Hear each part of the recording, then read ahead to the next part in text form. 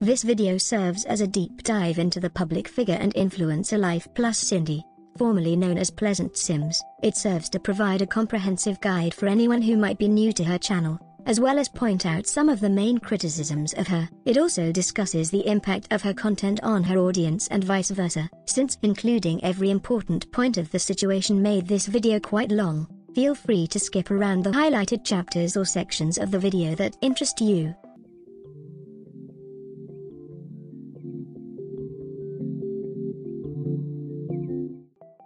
Starting from the beginning, who is Life Plus Cindy? Cindy Arnell is an American YouTuber born on May 13, 1983. Cindy entered the public consciousness in 2018 with her blog and YouTube channel called Pleasant Sims. Both sites were focused on the Sims game series, specifically The Sims 2.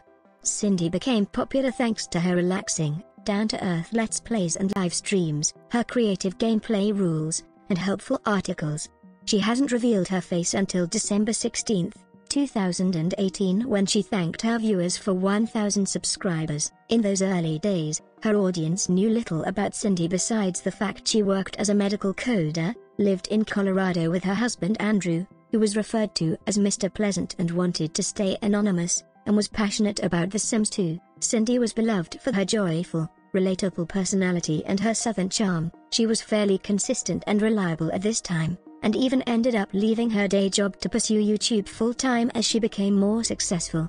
Near the end of 2019, Cindy began focusing more on reaction and tutorial-style videos, set on gaining more views, even though Cindy slowly became known for her inconsistency in live streaming. Shutting down her channel memberships or Patreon and putting them back up as well as frequently going on hiatuses, her audience was understanding. As Cindy left her day job in July 2020 to focus on YouTube full-time, she began focusing more on Randy Sims 4 reactions and less on Let's Plays which were the core of her channel. The earliest backlash she got from her audience was a reaction to her video where she discussed her moving away from the beloved Let's Plays because they did not get enough views. Smaller controversies followed, which is most definitely a part of being a human being on social media and somewhat unavoidable, but I'll let you judge that for yourself.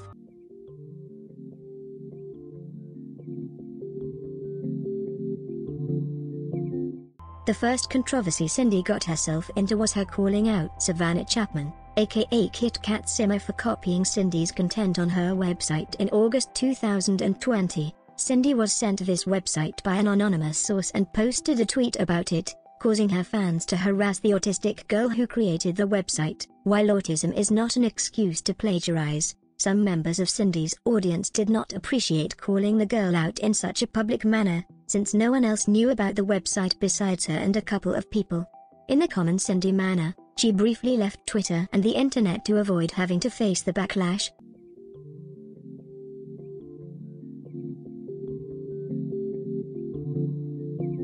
In January 2022, Cindy got into hot water for allegedly bullying minors and autistic members of her Discord server together with her mods. The issue arose because of these screenshots, where Cindy and her mods discuss an annoying member of their community who has been spamming the page with their pictures. This community member was proven to be a 17-year-old, and they also confirmed they had Asperger's. I am genuinely not clear on if this is the same person as in the previous controversy, or just another autistic member of the community, which made them struggle with social cues and understanding what is spamming and what isn't. While most of Cindy's audience did not find this controversy very problematic, many people found Cindy's handling of the entire situation, as well as her and her mod's bitchy, mean attitude in the whole situation in poor taste. Even though not many people truly cancelled Cindy and she only received some backlash, instead of apologizing, Cindy made a dramatic goodbye post titled Cancelled on her blog, where we can see some first signs of her mental health issues with how over-the-top her reaction to the situation is. Cindy confirms that she apologized to the said community member, and they parted on good terms, but she could not handle people calling her out on this behavior, using over-the-top terms like a mob coming for my blood and such. She also claims there has been a person online who's been trying to cancel her for years, which was someone she previously publicly exposed as well, and even made an entire website about. Cindy ended the post with, quote I am leaving the Sims community and YouTube for good. You cannot imagine the pain this causes me. My reputation cannot recover. I've been so traumatized and humiliated that I will never feel safe in this space again. Of course, Cindy returned. At the end of the day, this controversy is the smallest of hers and is sometimes made out to be more than it was. Cindy did not handle it in a very adult manner, especially not for someone in their late 30s, but she also didn't specifically attack the community member because they were autistic or young. Still, it made people think on how she communicates with her mods in private about others, and it made people reconsider her always positive, sweet personality.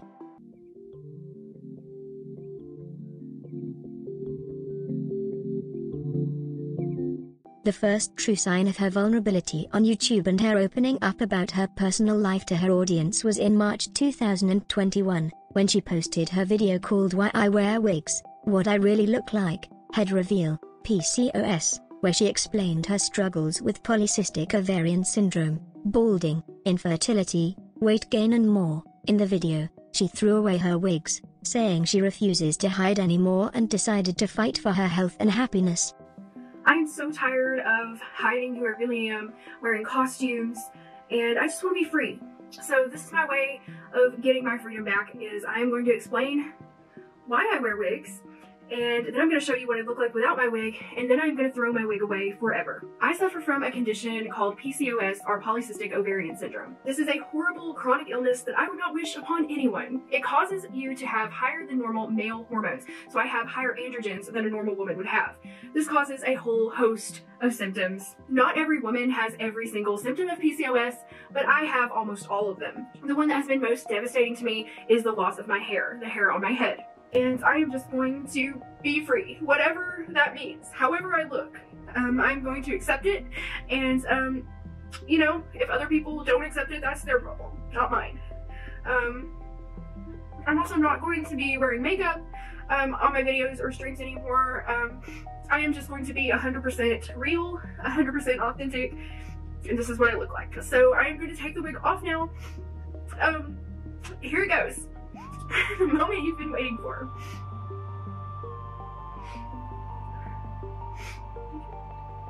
So here is what I look like. Um, so this is the top, and you can see that it's very thin. It's very thin up here. And this is obviously not a professional haircut. This is a Mr. Pleasant special. Um, he shaved my head and like I'm starting to get a little bit of a mullet back here, I think. but I just want to grow it out, and however it looks that's how that's just what I look like. I can't change that. I can't present anything else to the world anymore. It's just become too much of a burden on me to just to wear these wigs and makeup and pretend like I'm someone I'm not. It just I can't do it anymore. The video was met with a large amount of love, understanding, and praise for Cindy's honesty and raw vulnerability. From that day, Cindy appeared in her videos without wigs, and even more cemented her status of a relatable, human content creator in the sea of fake influencers.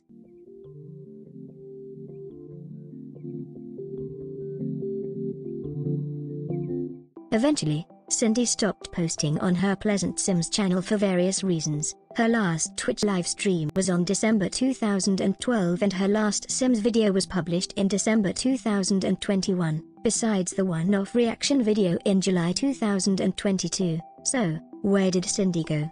Her new personal channel, Life Plus Cindy, where she's been making videos near the end of her Pleasant Sims era as well. The channel was created on 6th of April 2021 and went through several name changes, from Pleasantly Cindy, to Cindy Plus Andrew, to finally Life Plus Cindy. This vlogging and lifestyle channel was to let her now very tight-knit and interested audience glance into her personal life and get more of her personality. At the beginning, the channel was supposed to be more of a couples channel, where Andrew, Cindy's husband of over 10 years who has been very much against even being shown on the camera before, was supposed to make cooking videos, as well as tasting videos with Cindy. The little known fact is that the channel was scrubbed and renamed after at the end of one of the first videos, Cindy forgot to cut out a clip where she asks Andrew how do I say I need money?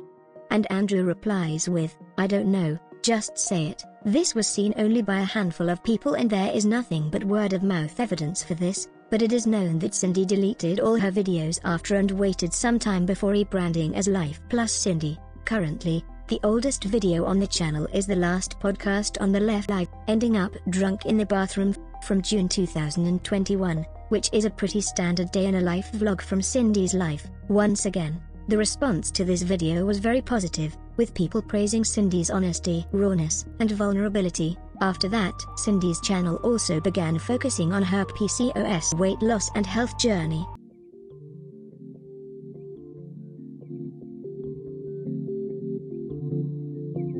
In the coming months, Cindy went through several diets, with each of them supposedly being the one miracle cure for her weight loss. She first swore by calorie counting. Now, I have tried every diet under the fucking sun. Everyone, everyone you can think of. Weight Watchers, keto, low carb, plant-based, slim fast, like every stupid ass diet you can think of, I have tried it, and I have failed at it. Or it has failed me, rather. The only way I've ever been able to lose weight is counting calories. Keto. And I realize that the time has come that I need to make a change to my diet because counting calories can only take you so far when you have PCOS, especially when you have insulin resistant PCOS like I do. So I made the change and I switched to a low carb ketogenic diet and that got me back on track. Uh, as soon as I did that, I immediately lost two pounds and I feel so much better. So I know this was the right thing to do um, for me personally. Then Whole 30, Paleo. I decided that I'm gonna do the thing that has worked best for me in the past I'm not necessarily doing keto, but I'm also not going to eat sugar and carbs. And I decided that I'm going to do more of a paleo-ish diet. I'm still going to try to keep my carbs low. I am dropping dairy, which is very bad for women with PCOS because it's inflammatory.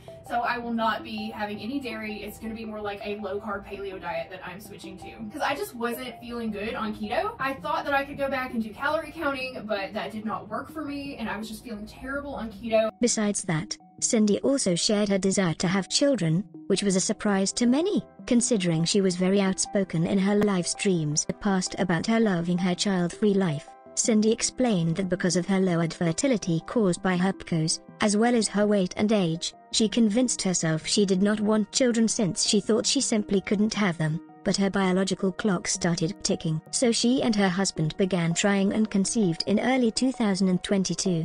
She shared the happy news on 6th of June 2022, after various fertility treatments. Hey guys, I'm pregnant! Unfortunately, Cindy went into preterm labor at 20 weeks and ended up losing her son August, which she shared in a heartbreaking I lost the baby at 20 weeks after going into preterm labor video on 28th of July 2022. After this, she went understandably radio silent until November 28, 2022. Hi, how are you? I've missed you so much. Thank you for standing by and waiting on me to be ready to come back to YouTube. And here I am.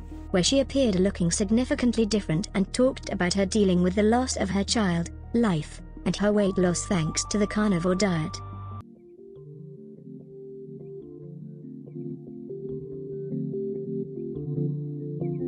After this, Cindy became focused on daily vlogs again, often sharing her budget carnivore meals and getting more into witchy topics as well as homemade soap making and such. In the meantime, she and Andrew continued to try for a baby again, while the majority of her audience was still very positive and supportive after the wave of empathy from the miscarriage video. Slowly, some began criticizing Cindy's incorrect use of the carnivore diet and intermittent fasting. In short, Cindy wouldn't consume the organ meats which are necessary for obtaining all the nutrients and vitamins, and would only take a liver extract capsule together with other supplements. We have not seen Cindy eat an organ meat or bone broth in a single of her videos, causing slowly growing concern. Her diet would also be extremely lacking in variety, which is another important factor when considering such a restricting diet. It's gonna be my one and only meal of the day. Normally, I do not do like recipes. I just eat literally like a hunk of meat that I've cooked. So I'll do like steak, hamburger patties, or chuck roast. From keto to carnivore. So I was doing, whenever I had my pregnancy, I was eating so horrible. I was eating McDonald's almost every single day when I was pregnant, and that cannot be healthy for you or a baby in any way, shape, or form. I feel so good when I eat a steak that that's the only thing I want to eat. Why would I eat anything else? It doesn't even appeal to me. Um, and so it's it's not boring to me at all. I never get tired of eating steak, roast, and burgers. I can just eat those three foods, and I don't think I would ever get tired of it.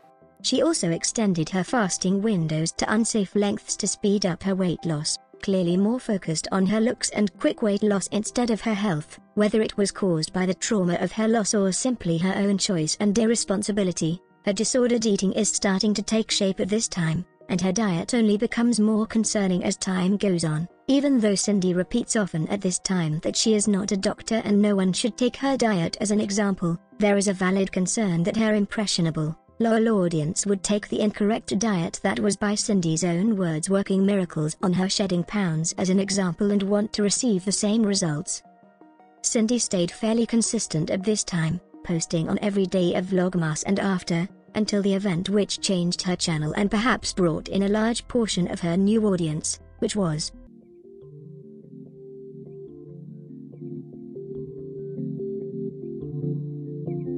The video published on February 6, 2023, titled My Life is Over sent shockwaves through Cindy's community. See, before this video, Cindy and Andrew's relationship was nothing short of a perfect fairy tale. The two were married since 2012, and met by pure coincidence when Andrew delivered a pizza to Cindy who was at the time struggling after separating from her first husband, Chad. Andrew has been the love of her life since, he supported her in all she did, and they were both happy with the way things were. Or so it seemed. In the shocking and heartbreaking video, Cindy revealed many, many new facts which went completely against the image of a sweet, genuine persona she built.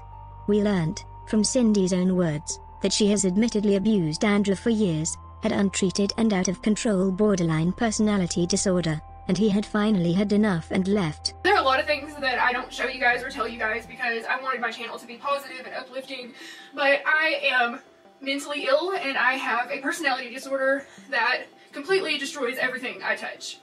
And now it's destroyed my marriage, and I have ran off the only man who has ever loved me or stood by me for any period of time. I don't want you to think that Andrew is a bad person or a bad husband or a bad man because he's not. He is a beautiful, compassionate, kind, empathetic human being who um, has finally reached his limit and been pushed over the edge. I have not been um, a great wife to him.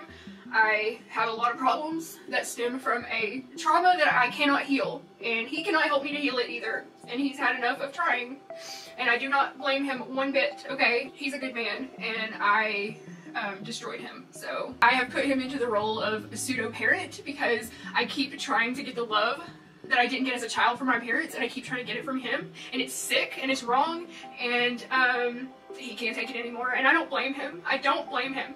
Even though it was never well known, Cindy did share that she had BPD with her audience before, and it was quite understandable when looking at her black and white thinking when it came to her controversies, her dramatic exits, constant hiatuses and inconsistency. But besides that, Cindy has painted her life with Andrew as perfect, which would be totally understandable, if relatability and genuineness wasn't the core of her appeal. Cindy shares many personal details in this video, from her parentifying Andrew, to him begging her to go to therapy and get help for years, which she refused. She also shares that she threatened to unlive herself after he left to get him back to the house and had cops called on her. I made a fool of myself in front of everyone. I had the cops called on me. I threw myself on the front of his car to prevent him from leaving after manipulating him to come back here by telling him I was going to kill myself. Yes, that is the kind of fucked up things that I do. No matter the whiplash, Cindy's audience was understanding, and the point of her channel from then on became starting over and healing. Having YouTube as her only outlet and support network, Cindy posted unfiltered videos where she struggles to digest the separation and discussed her possible new life as a newly single woman in her late 30s living alone for the first time ever, with the help of her audience, who gladly sent donations to a struggling woman trying to get on her feet, because many have gone through similar hardship. Cindy started therapy, albeit too little too late, and began working on her independence by getting herself her own car and doing things by herself that she would have previously relied on Andrew with. In these following videos, certain patterns began rearing their ugly head though, and some started to get skeptical.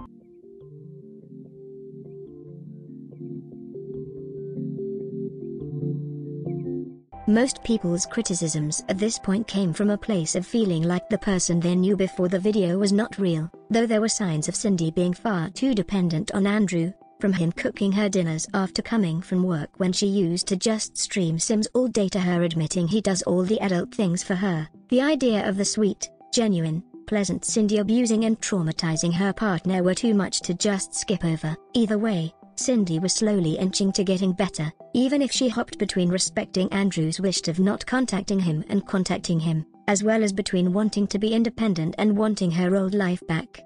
I have to start trying to imagine a new future for myself. So I have let myself start to imagine what it might be like to actually truly live on my own, to go back home, get an apartment, and I, am not saying this out of grief and pain, I'm saying this out of practicality because I'm a very practical person and I need to think about these things. Um, like what it would be like to go home, find an apartment, get my own car, have my own life, um, date other people, make new friends, and I have to tell you that I'm not as upset about it as I was before. Like I'm starting to think it might be a real possibility. Right now, my only focus is just working on myself as best I can.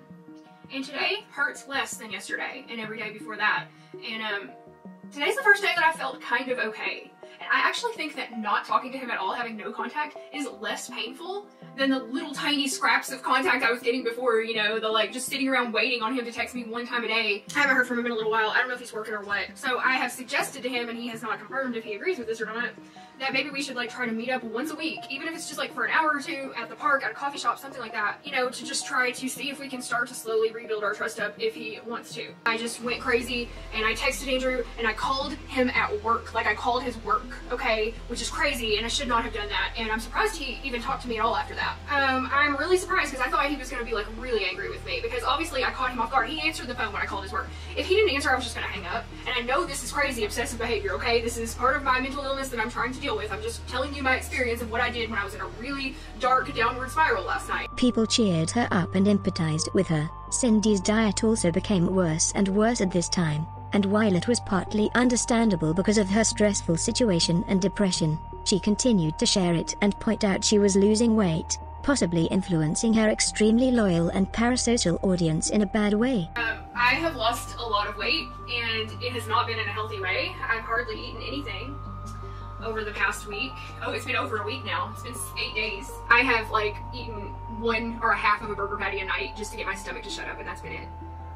So I do not recommend anybody do that, but I will tell you that I weigh myself and I'm down to 159 pounds. So I'm not sad that I'm down to 159 pounds. That is my lowest weight that I have been in 15 years. So I feel good about that. I know I didn't do it in a good way. Like, I guess, no, I'm not gonna say that. I'm not gonna say that. It's not healthy, don't do it, okay? Then, when things were just looking up, they got worse once again.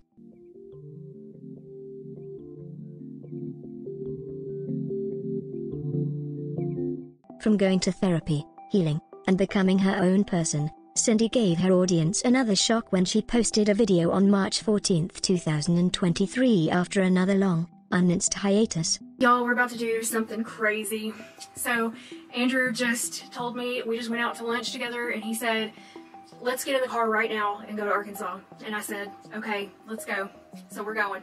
As you can see, in this video, Cindy who has said she wanted to work on herself and her independence is suddenly back in the passenger's seat of the car and by Andrew's side. What's worse, both have decided to impulsively move back to Arkansas, something they believe will heal their relationship and give them a new start. At this point, many of Cindy's ex-fans began questioning her decisions especially since so many warned her to not rush things, but because Cindy has been known to strictly monitor her comments and never allow any criticism or negativity. It was hard for them to express their opinions and the enabling toxic positivity still prevailed. Many still supported Cindy in this decision, like they always did, and wished her and Andrew luck in starting over. After a few vlogs of her and Andrew enjoying Arkansas and house hunting, things unraveled even further.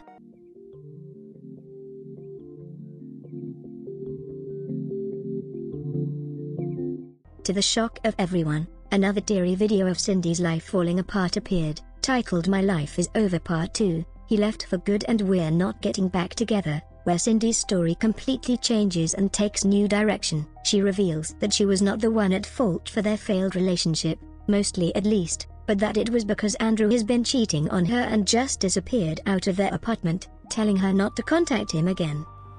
It said that he has cheated on me several times um, during our marriage, and I never knew. and that he could not live with that guilt, and he doesn't think that I should forgive him, and I agree. I, I don't. I don't think I can forgive that. I mean, I can't. I can't forgive that.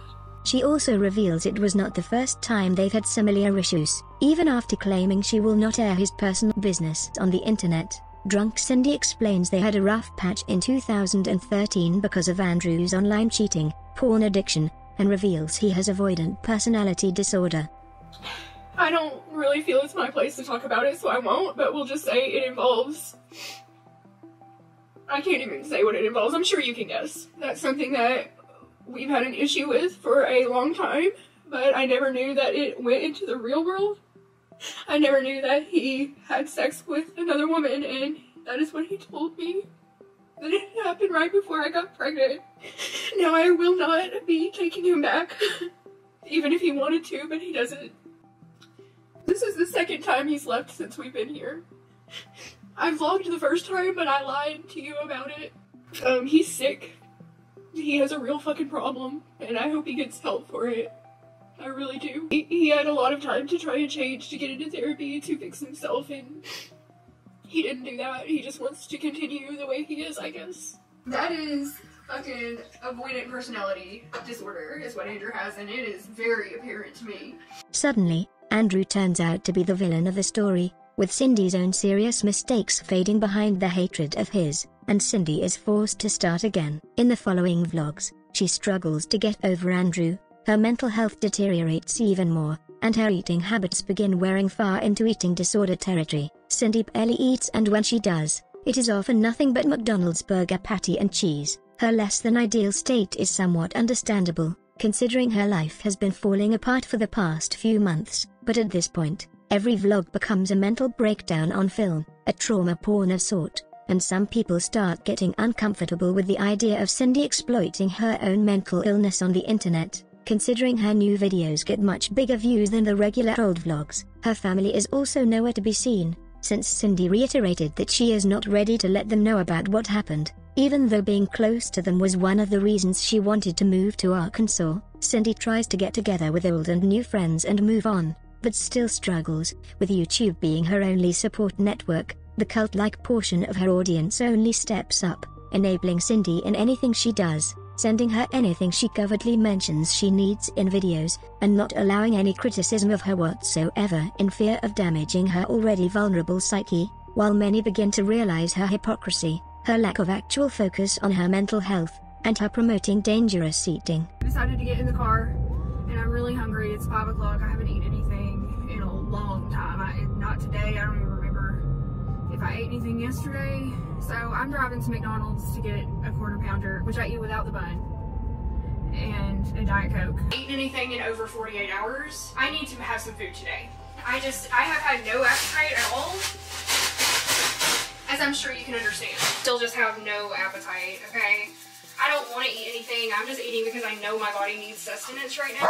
I mean, that's the best I can do to try to take care of myself in this moment. Just going to salt and pepper these and eat them with some butter. I'll eat as many of them as I can choke down. I know this is not a lot of food, but I'm going through a lot of emotional distress right now. So, you know, big meals aren't really a priority for me. I know I need to eat more. I'm going to eat this, and if I'm able to get this down, I'll have another one. 153.2!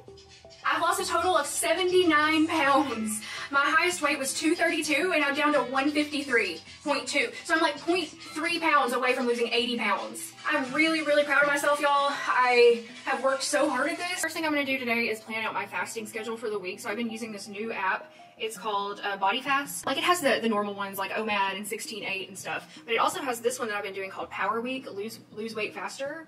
So this is what it kind of looks like. Let me see if I can get it to focus. So you can see the fasting periods, they vary. And then you'll have like one full day of fasting. And it works really well for me. I was able to pretty much stick to it last week, except for the couple times when I broke my fast with alcohol. So I have a leftover McDonald's McDouble in the fridge, and that's what I'm gonna eat for lunch today. So I'm gonna go ahead and eat that now before I get started, just to give me a little energy. Drinking, which she admits she is becoming dependent on. I have to be honest with you guys right now. I mean, I don't have to be honest with you, but I'm going to be.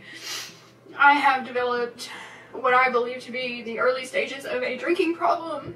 And lifestyle habits. People also worry about the possibility of Cindy getting together with Andrew once again only for her to be hurt once more. Since the last time she claimed she strived for independence, it was not entirely true.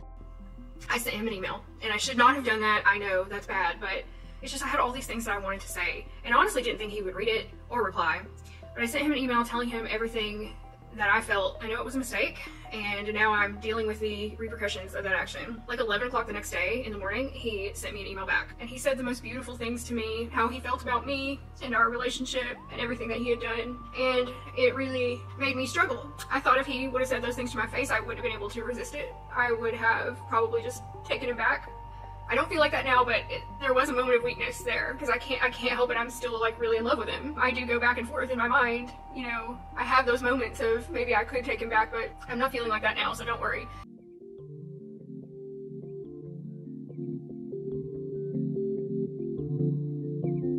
Another, this time larger, controversy which caused Cindy to once again react with the abrupt privating of her entire channel and running away from the internet was The Lunch with B plus Sad Unpacking Books plus Going Back on Meds, published on April 22, 2023, and is now conveniently removed. In this vlog, Cindy meets her friend B in a Mexican restaurant, where they joke about the food, laugh at the pronunciation, bother the waitresses about the pronunciation of words while in an obvious earshot of their giggling, and make insensitive jokes about sending the plate of food Cindy will not eat to starving children in Ethiopia.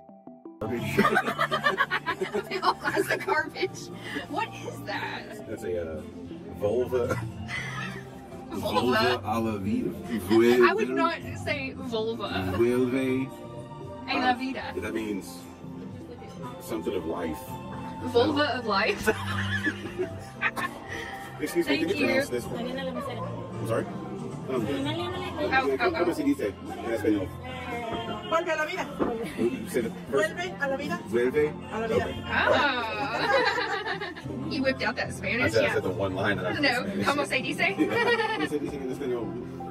And then they tell you, they just tell you, they just give you free Spanish lessons. I know. We should just come here and learn Spanish. It's sizzling. Yum. All right, y'all. I'm starving. This is all I'm gonna eat today, probably. I ate all the meat out of it, and I ate the middle of my plate with the guacamole and sour cream and cheese. Yeah, I'm gonna throw it away. Is that what you asked me? Yeah, wasting food. I'm wasting food. I'm sure I'll get reamed for that in the comments. People Yeah, don't it. worry. She's gonna mail it to Ethiopia. I'm gonna put it in envelopes and mail it to Ethiopia, and then everybody can be happy.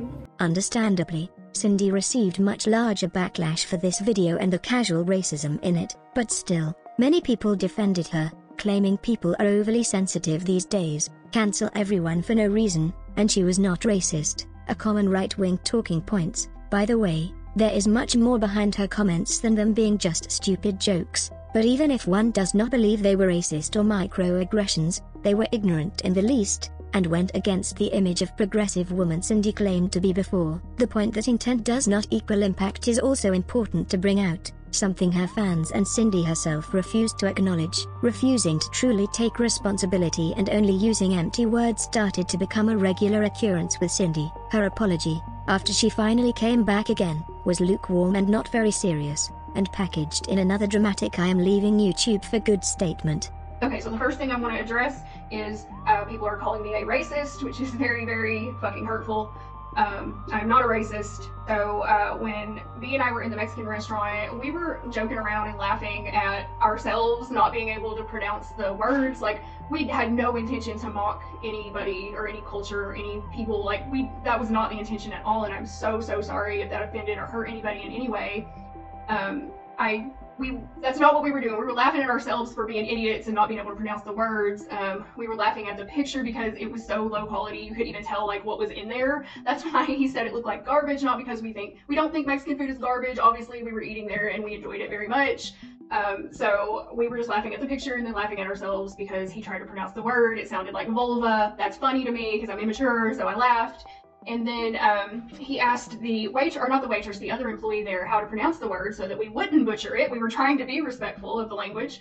And uh, she didn't speak English, so we didn't know that. Um, so he asked again, and then our waitress came over and told us how to pronounce it. And that was it. Like, we were just goofing around being obnoxious, but we truly did not mean to offend anybody or hurt anybody. If I thought that that would be taken as some kind of racism or mockery, obviously I never would have put that in the vlog. Um, it really surprised me. I, I'm sorry if I was ignorant. Um, I really, really didn't want to hurt anybody. And I'm also I'm sorry that I haven't um, that I haven't addressed this before. But the last couple days have been very, very difficult for me, and I was not in a place where I felt like I could uh, address anything or address anyone. So Um, yeah, we did not mean any harm by that. I am so, so sorry if that offended anybody. Like, it hurts me to think that I could have hurt somebody with my words. Never my intention. We were just making fun of ourselves, goofing around, acting like a couple of idiots. Like, if you never goofed around and said something stupid with your friends, I don't know what to tell you. Um, There was another factor for her leaving YouTube though, something that only coincidentally happened to go down at the same time as her Mexican restaurant video backlash. I was doxxed, and um, somebody contacted my family. Um, sorry. Somebody contacted my family on Facebook, uh, parts of my family that I did not want um, to know these things, and I realize this is my fault. I am not trying to blame it on anybody else. This is all entirely 100% my fault because I made these videos. Um, I put them out there. But these people who, um, this per- so this person came onto Reddit, said they were a family friend, and that they were so concerned that I hadn't told my family yet that they were going to tell my family. This person was no family friend, okay? First of all, they did not get any of the details of my family dynamic correct. They contacted members of my family that I have not talked to in years and didn't want to talk to, um, people that I never would have told these things to, and uh, they have caused a lot of problems for me in my personal life. Um, it frankly is scary to me and uh, humiliating to me.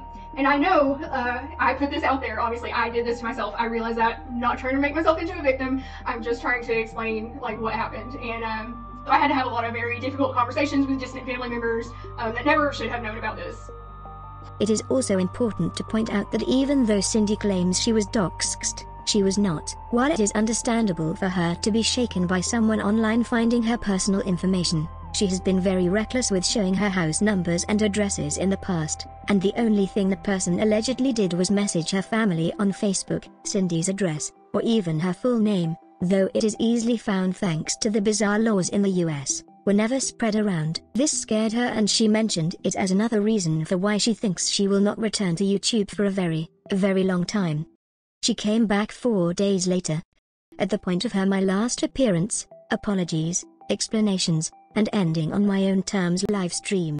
A growing number of critics mostly wanted for Cindy to leave the internet and focus on her healing instead of filming herself having mental breakdowns, eating in an extremely unhealthy manner, and manipulating her very trusting and loyal audience to get her what she wants. Meanwhile, her enabling audience continued to take responsibility off Cindy, claiming everyone was blowing things out of proportion, even going as far as acting like Cindy said what she said because B was with her and he was a bad influence on her. Finally, Cindy confirmed that she was going to actually focus on repairing her mental health and healing from the trauma Andrew put her through, as well as learn to be truly independent. If I ever see myself coming back, right now I don't, and if I did, it would be like a members only kind of thing because um, I did not know that my videos were going to get the the attention that they did, and honestly, I was very naive about this whole situation. Like I didn't even know this whole reaction thing was even a thing, and it's just, it's I don't know, it's not for me. Like I'm I'm just not in a place mentally where I can handle this right now.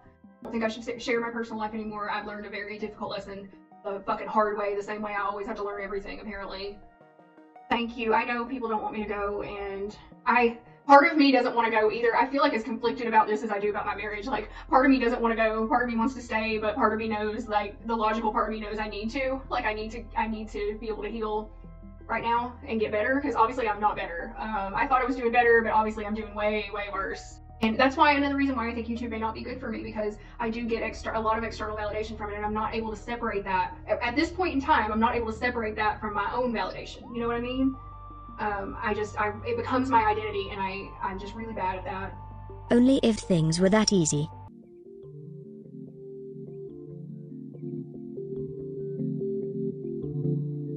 Cindy came back four days later with a I don't give a shit attitude on a live stream pinning dozens of subscriber gifts, while drinking an alcoholic drink and admitting she's been drinking daily. Her talk of YouTube and the internet not being good for her mental health was null, and unfortunately, as she struggled to get over Andrew and continuously broke their no contact in the coming days, things would get even worse.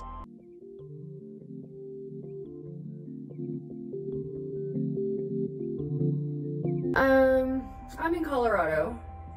I drove 14 hours all night long on no sleep to come to Colorado to see Andrew.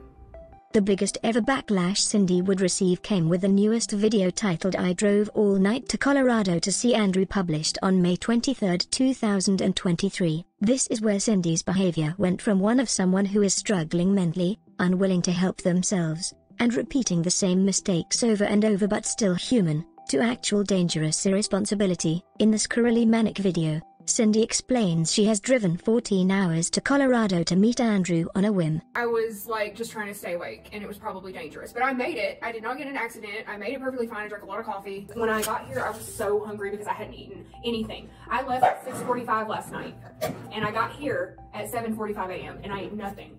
Um, it's just coffee on the road. So yeah, that was kind of rough. You can fault me if you want to. You can be mad at me if you want to, but I'm human. I'm a human being and I'm in love with him. So, you know, I don't always make the best choices.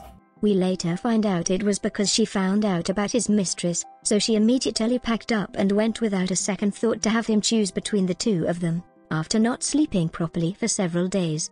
This was thankfully when even the most hardcore fans of Cindy began opening their eyes, and for the first time ever, Cindy's comment section was full of criticism and messages trying to get to her, rather than the usual enabling. Many of her fans, and even Cindy herself, would try to excuse this as well, but the fact is that this is the most irresponsible and horrible thing Cindy has ever done. For those who are not familiar, driving while sleep deprived, not to mention in such a sensitive mental state, equals to driving drunk. According to reports from the National Highway Traffic Safety Administration, drowsy driving was responsible for at least 91,000 car crashes, 50,000 injuries, and 795 deaths in 2017. By contrast, Alcohol was thought to be involved in 9,949 fatal crashes in 2017, comprising almost 30% of all fatal crashes. In addition to the dangers of falling asleep behind the wheel, drowsiness has serious effects on a driver's attention,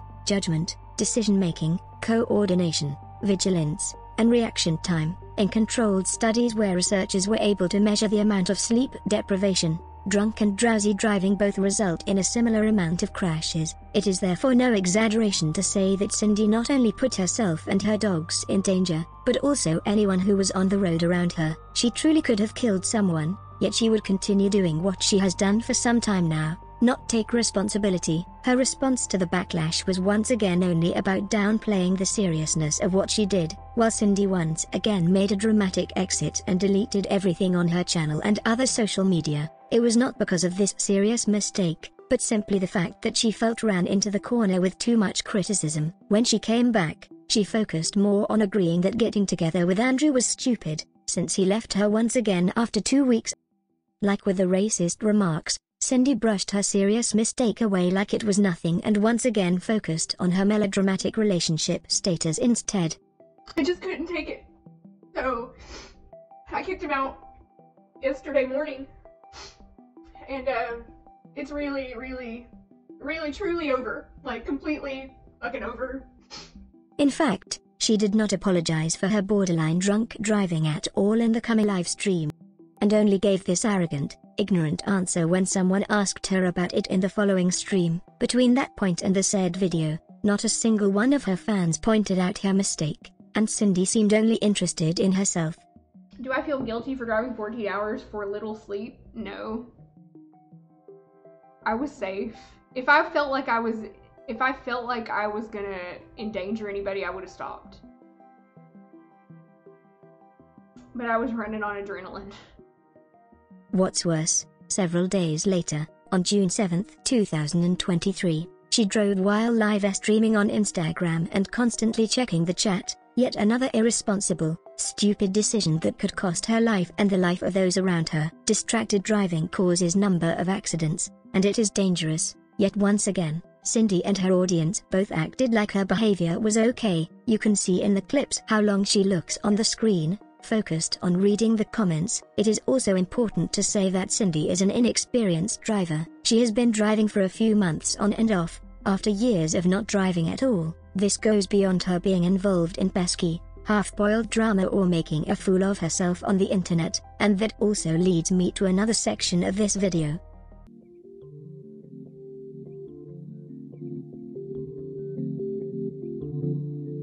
I've been on the internet and YouTube for some time, and I don't think I've ever seen fan base as loyal, senselessly positive and enabling as Cindy's. I believe Cindy's audience is a large reason for why her mental illness seems to be getting worse instead of better, though there is a phrase Cindy has become infamous for. Mental illness is not your fault, but it is your responsibility. And I have been very, very irresponsible. Neither Cindy, not her audience seems to heed by it. Cindy's fanbase seems to always rally behind her and follow her lead, no matter what. They support her reckless driving, her drinking on stream, no matter the fact that Cindy said numerous times how she's worried she's slipping into alcoholism. I'm getting leg cramp. Um. Yeah, I haven't eaten anything in two days, and I've just been like drunk for two days. So. They use her BPD as an excuse for any criticism towards her. They support her irresponsible, disordered eating, and enable her in everything she does by giving her money and gifts. In her most current live streams, her audience would ask her about Andrew constantly. Even though it is clear Cindy is obsessive about him, it makes her feel worse, and isn't good for her to focus on. There is certainly a point to be made about their strange, dysfunctional, parasocial relationship. The toxicity of it is certainly seen the clearest in her goodbye stream, where almost everyone begs her to stay and to not leave YouTube. Even though it is obvious and Cindy points out herself that she has been spiraling for a while, that it has been not good for her, and causes her to actively focus on the wrong things instead of therapy and her mental health. Who are these people who support a mentally ill woman on a downward spiral in anything she does, and overlook her lies, half-truths, and inconsistent stories, as well as truly dangerous things she does? Why do they equate accountability with hate? Do they feel kinship with her because they themselves make mistakes in their life without an effort to change? and seeing her fail makes them feel better about themselves? Are they subconsciously enjoying the trauma porn Cindy's content has become, or do they hope to see that charismatic, funny, entertaining and stable woman they used to love watching in the PleasantSims times? I don't want my channel to suffer anymore. I don't want to make content uh, for an audience for a specific audience or try to get more people to watch me or like me. I want to make the content that I love, that I am able to make with joy and with my heart, where my heart is in it.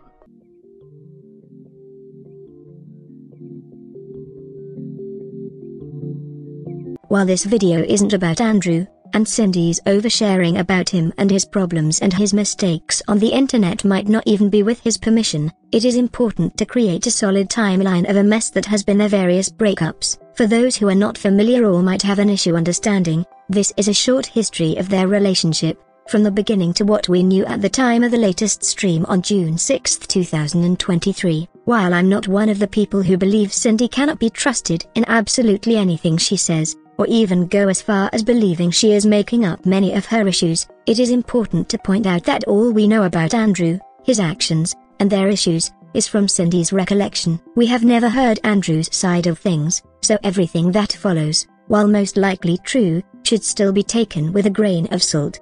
The way Andrew and I met is after my first husband left me. He left me. He ran off with our landlord's girlfriend one day and went to Arizona, left me a note, and I never saw him again. Um, that was the best thing that ever happened to me, even though at the time it felt like the worst thing. It, it destroyed me, but I was able to rebuild myself so much better without him. After that, I uh, had moved in with a roommate and we got a house together. And during this time, when I lived with this roommate, I was very much a recluse and a hermit. I had very low self-esteem because of what my first husband put me through, making me feel like I was a worthless piece of crap and didn't deserve love. So um, I never left the house basically. I lived on one side of the house and my roommate lived on the other.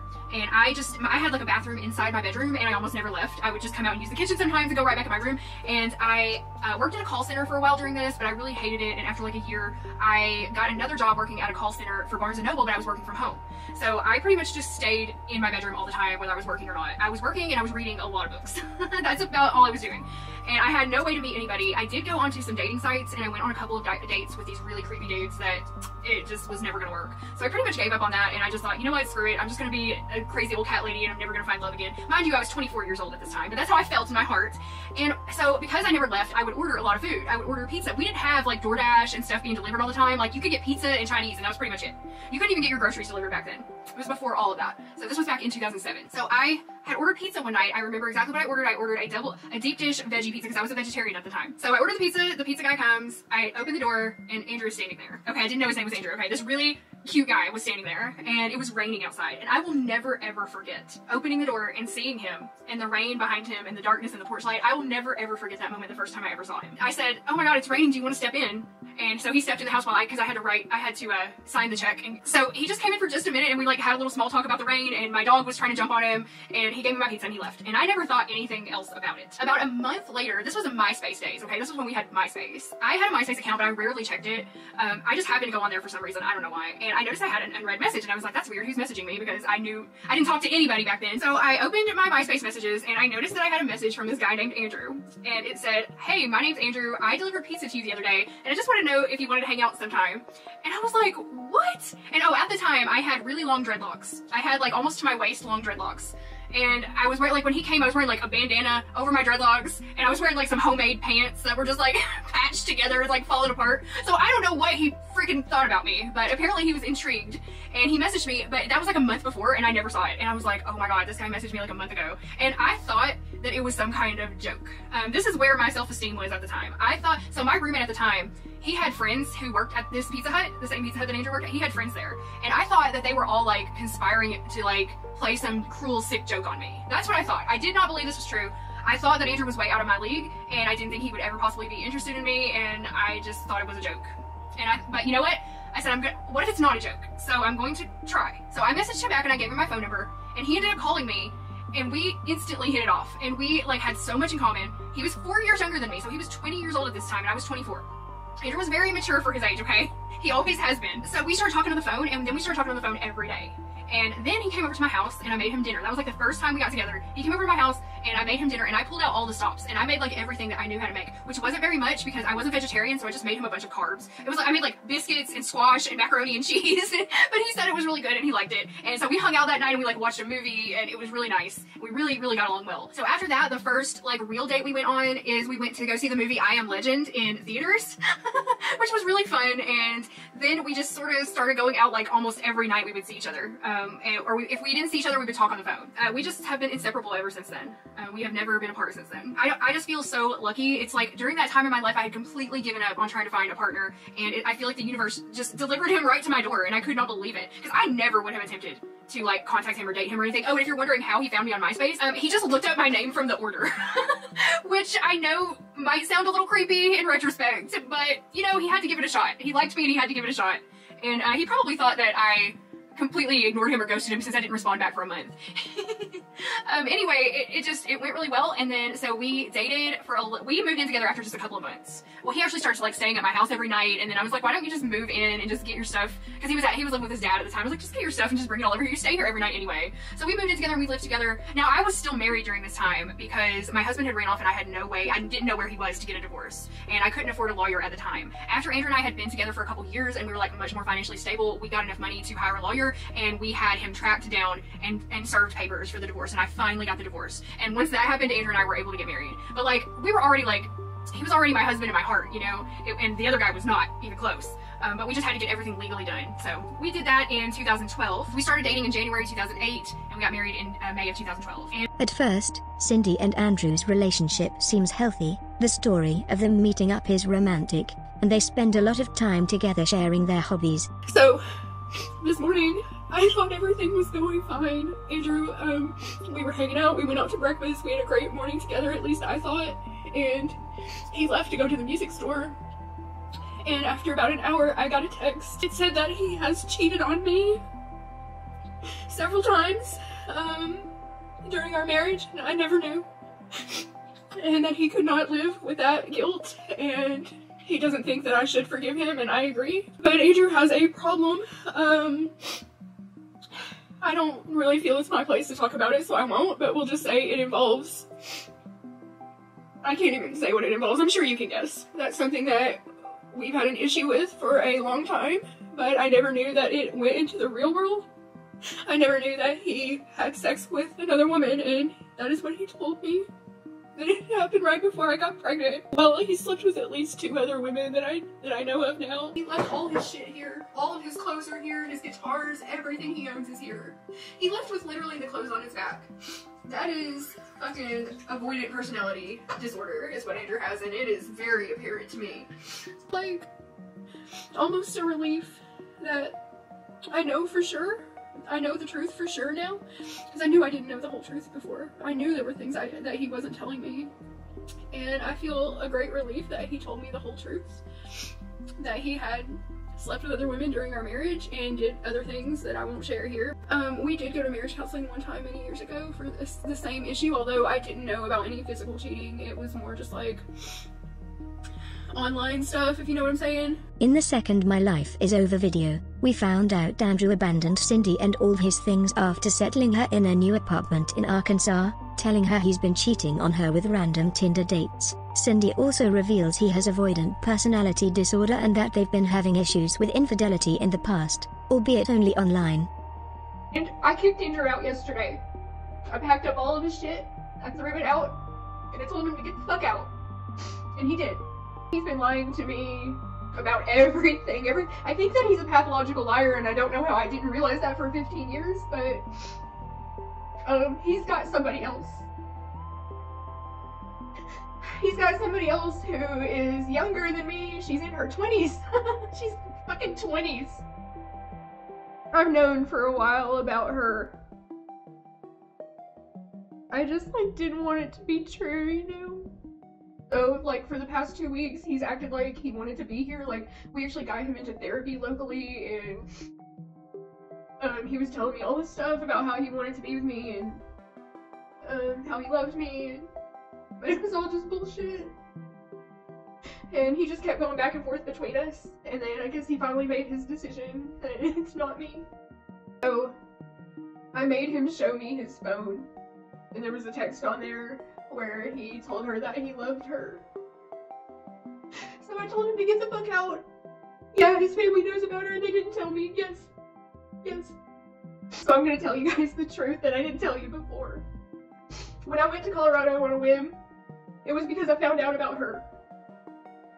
So after my last live stream, I found out in a very in a, in a very painful way and I just could not control myself. I just packed all my shit up and I just drove up there. And he came to see me and he said he loved me and he wanted to be with me and he was choosing me. All we did when he was here, literally all we did when he was here, is go out and drink. And like, I should have known something was wrong. I mean, I did know. I did know. We would fight and we would go drink and then we would make up and then we would do it again the next day for two weeks. He told me that he's getting rid of that phone that he had and, um, he said he told me that he's letting go and he's going to his new life. Also, here's an- another thing: the Tinder cheating was not real. He didn't do that. Um, he was having an affair with this woman for a year, and I don't know why he told me that he just went on a bunch of Tinder dates or something. Like I guess to lessen the pain for me or something. Like um, he didn't want to tell me, you know, that he was having like a real relationship with somebody else. Did the other woman know that he was going between the two of you? Yeah, he did. He knew. She knew. She knew everything. She knew everything. She knew he was married. She knew all of it. There were red flags 10 years ago that I ignored. It wasn't anything like this, but it was enough. In the stream following the reckless drive to Colorado vlog, things unravel even more. Cindy reveals Andrew lied about the dates, but instead has had a mistress, who she knew about for a time. They stayed together for two weeks after returning to Arkansas, until Cindy kicked Andrew out, or he choose to leave and be with his mistress. Cindy is a bit unclear on that and keeps changing that point. There's something I haven't told you. And I really don't feel like I can do any kind of healing moving forward type of journey on this channel if I don't tell you the entire truth. She's pregnant.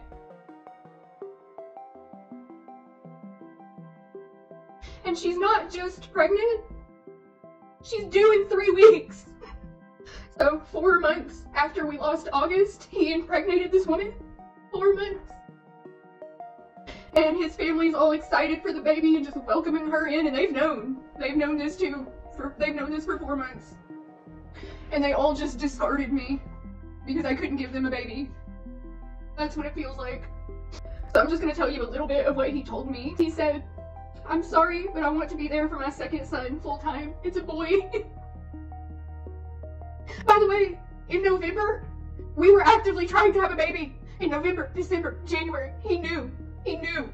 She was pregnant while we were actively trying to have a baby, by the way.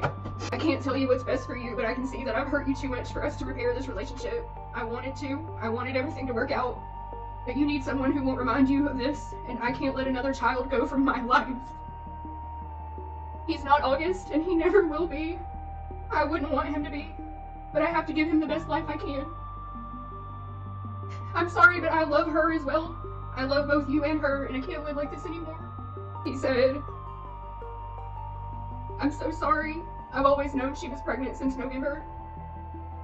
And I've been trying to play both sides for so long. I wanted both futures. I don't know what to say other than ever since I found out she was pregnant, I felt drawn to the child. I've been afraid I would not be able to resist going to him, and in the end, it turned out that I can't forsake him. I'm so sorry. I have to tell you, I love you. I'm letting go. As if things have not been dramatic enough, in another stream, Cindy revealed that Andrew's mistress, who he lives with now in Colorado, is three weeks away from giving birth to their son, which is just another blow and another way he has shattered their relationship beyond repair. The entire way Andrew went from a quiet, shy, but loving husband we love to see in Cindy's vlog, to an abhorrent mess of a human being who would constantly lie, cheat, toy with people, and make incredibly unhinged choices, is mind-blowing to witness. No matter mine or anyone's criticisms of her, as long as all she says about Andrew is true, what she has gone through in the last few months would be hell for anyone, not to mention a mentally ill woman whose disorder makes her cling to a favorite person and base her worth on her partner. But this especially makes it so important that she has a supportive network around her, who help her heal, instead of enabling her and supporting her self-destructing habits for their own entertainment.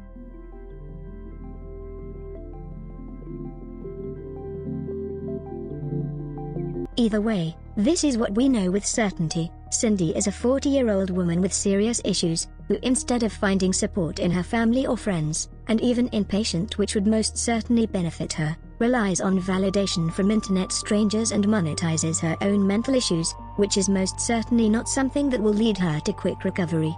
While she has abused her husband of 15 years herself in the past, the abuse and hurt Andrew has put her through in the recent months, coupled with the previous traumatic loss of their child, has not helped Cindy either. While no one can expect her to get over her 15-year-old marriage in a blink of an eye, Cindy often uses her enabling audience to stall her own progress, to receive validation she craves, and even with dozens of people giving her helpful advice, oftentimes from their own experience, and seem to have her best interest at heart. From the history of Cindy's internet presence, we can see that she has no changed or grown in the previous several years at all. She still runs away from responsibility, which makes one question if the alleged support and validation she is getting benefits her in any way. Her lies and twisting of the truth cannot be excused by her BPD alone, and neither can be her lack of accountability. Cindy went from entertaining Sims YouTuber to a public spectacle, and while she deserves sympathy and everyone's wish should be for her to heal and rebuild her life, surviving in the wild wild west of the internet is not easy, and one needs to have not only tough skin, but also be able to take responsibility for their mistakes. Whether you watch Cindy hoping to see her thrive or with a popcorn by your side, waiting for another teary, dramatic trash fire of an irresponsible choice, Life Plus Cindy is a fascinating study of human psyche and how quickly things in one's life can derail, as well as how no one is truly who they make themselves out to be, indeed. I think that manipulation has become such a part of what I do to other people that I don't even really understand or know if that's what I'm actually doing. I think I'm always on some level manipulating people. I know I've told you that I've been I've been trying to be more independent and all that bullshit, but it's a lie because I always knew that he was going to come back and deal with anything I couldn't deal with.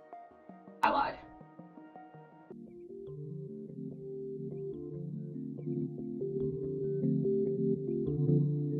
I've decided to add this short section at the end of the video with some actual example of some of Cindy's inconsistencies, as well as some smaller things she has been criticized for. These can be considered nitpicks to some, so I included them here at the end and will leave you to make your own opinion on them. Um, he's sick. He has a real fucking problem, and I hope he gets help for it.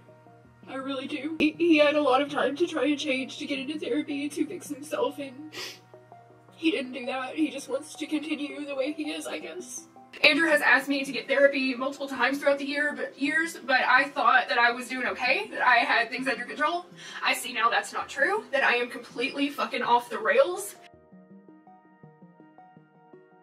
Jack and I worked together at a call center many, many years ago, back in about 2006, 2007.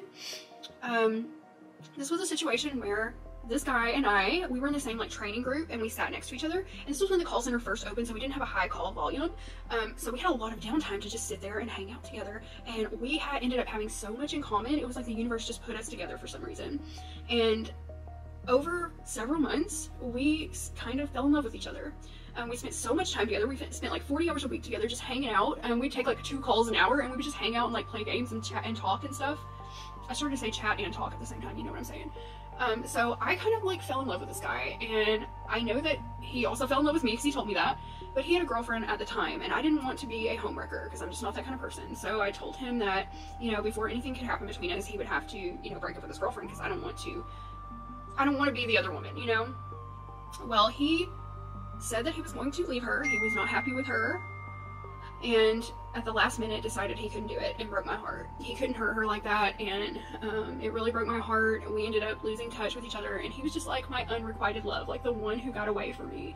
Like all these years I've always thought of him. We've talked to each other a couple times when Andrew and I were having a rough patch back in 2013, 2014. But anyway, I always loved this guy. In her second My Life is Over video, Cindy, understandably, hurts over finding out Andrew's infidelity. She mentions how she has always been loyal and never even looked at another man while they were together. In later videos, she explains how she could never imagine being the quote other woman. The thing is, most people somehow overlook the fact that at the very end of said video, Cindy herself tells the story of her relationship, if it could be called that, with a taken man. While she said she wanted him to leave his partner before starting anything physical because she did not want to be a homewrecker, the fact remains that she knew the man she was emotionally involved with was not single and she did have an emotional affair with him, making her once again a hypocrite.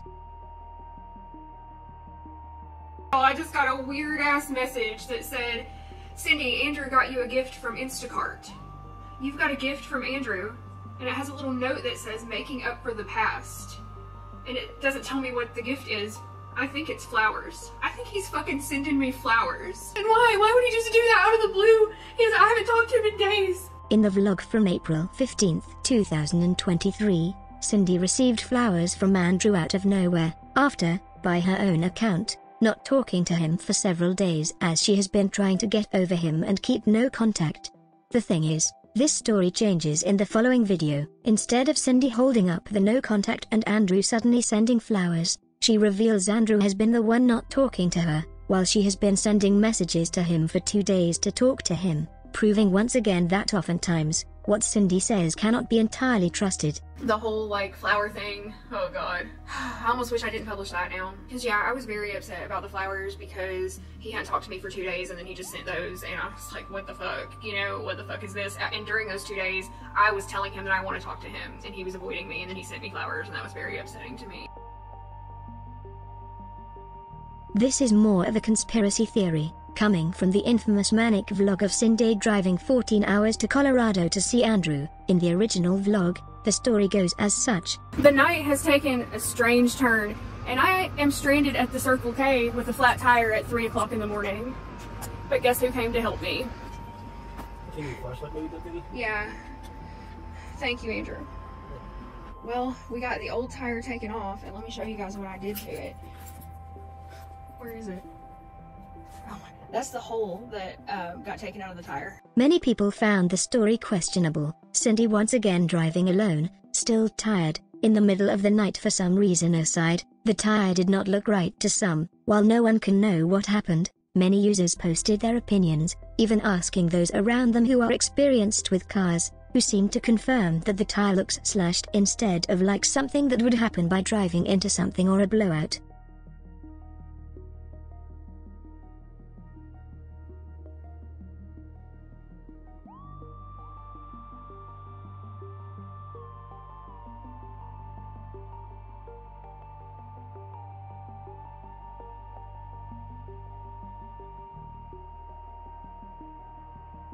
People are saying you slashed your own tire. Oh my god. I hit a curb. Which I didn't want to say because I knew people were going to be like, You're out there driving at 3 a.m. You want it? Okay. Did I tell you guys what really happened? He was trying to leave her. Okay? It was 3 o'clock in the morning. Alright. Here's what happened. I'm going to tell you the truth because it doesn't fucking matter now. This is why I was out driving at 3 o'clock in the morning. He got off work. So this so this day he had to go to work one more day when I was in Colorado, and he was gonna leave. With, he was gonna come back to the hotel with me, and he was gonna leave with me the next day. That's what we did.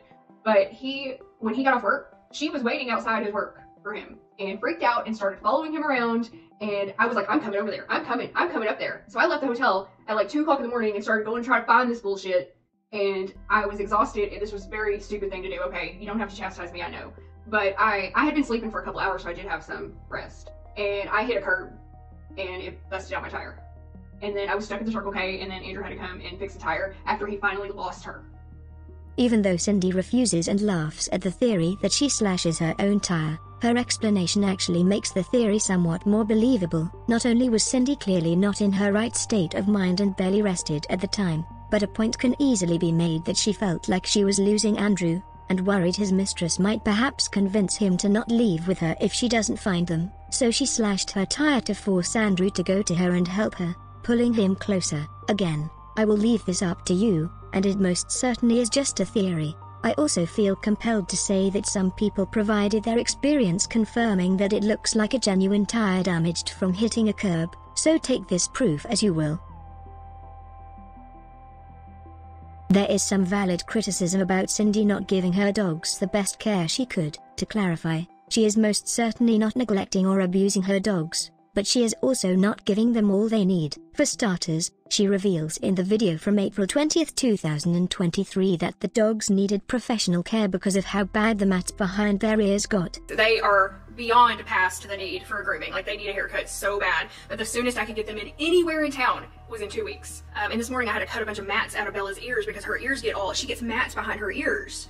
And I cannot find her dog brush either, so I'm gonna have to buy a new dog brush so I can so I can brush out their ears so they don't get matted. It's having a Shih Tzu is a lot of work. You gotta keep their hair cut or they get matted so easily. While it is understandable Cindy is not on top of everything with the way her life and mental health has been spiraling recently, taking care of one's pets or children is never up for question, even when in such a bad state, since they depend on their owner slash parent, with Cindy repeating often that her dogs are the reason she is still here and her only motivation. It is concerning that she not only does not brush them enough, considering the breed gets matted easily, but she also does not give them enough exercise. And now to reward the dogs, I'm taking them out on a little walk because they were so good at the vet. So I'll let them explore in the woods a little bit. And then we're gonna go in and try to give them that uh, flea and tick medicine. Oh my god, Bella, getting caught in the woods. Only taking them outside of her apartment to the grass for quote unquote walks, while I'm aware such small breed does not require mile long, strenuous exercise, they deserve better. In fact, even before the breakup, we have only ever seen Cindy take the dogs for an actual, proper walk with Andrew. I know, I wish I could date women. I think my life would be easier.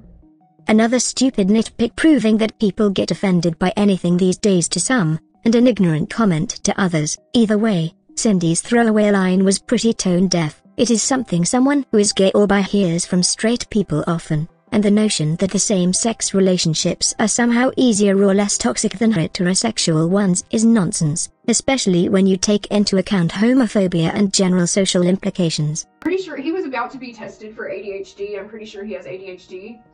So he's very impulsive because of that, and he will just leave a job. He just doesn't give a shit. He will just leave a job and go get another one. Yeah, he is addicted to dopamine pleasures, and I think that's I think that he has ADHD, and I think that's a lot of his problem.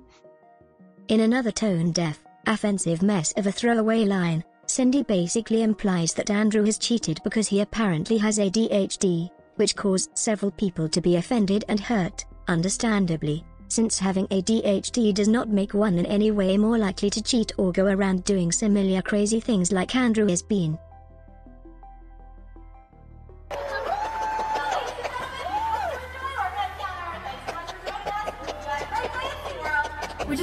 Orchid show and it was so cool. Oh my gosh. The orcas were so neat, weren't they, Andrew? Yeah, they were incredible. It was really fun. it was really fun. I think that was the coolest thing we saw today. roller. My favorite thing today was the Kraken roller coaster in the orca show. In 2021, Cindy and Andrew went for a holiday to the Orlando SeaWorld and published two vlogs about it. This was long after the Blackfish documentary, and when it's already been very much known publicly how incredibly dark and shocking the treatment of animals in SeaWorld is, and how bad these parks are in general. Animals in cramped tanks, drugging, abuse, by a mere short search, One can find all the horrible things happening in all SeaWorld parks. Not only does Cindy say the Orca show was one of her favorite experiences, but in the common Cindy manner, instead of admitting her fault and apologizing, she reacted to the comments from people trying to educate her and pointing out how disappointing her support of the place was by deleting the video and never mentioning it again.